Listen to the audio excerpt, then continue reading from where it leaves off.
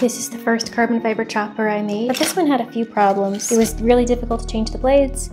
It was not super stable because it's just mounted to this scrap piece of wood. And then the chute was a little bit problematic here. So version number two has a much better holder for the drill.